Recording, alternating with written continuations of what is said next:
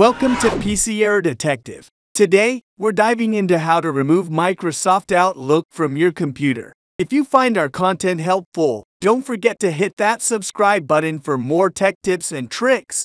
Step 1. Let's start by opening the Start menu. Simply click on the Windows icon located at the bottom left corner of your screen. Step 2. Once the Start menu is up, navigate to and select Settings. You'll be greeted with a window full of customization options for your device.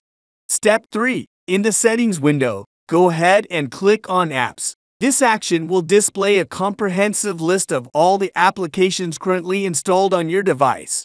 Step 4. Now scroll through the apps until you find Microsoft Outlook. Once you've located it, click on it to expand and see additional options. Step 5. To remove Microsoft Outlook from your system, click on Uninstall. You'll need to follow any subsequent prompts or instructions that appear to complete the uninstallation process successfully. And that's it. Thank you for watching, and we'll see you in the next video.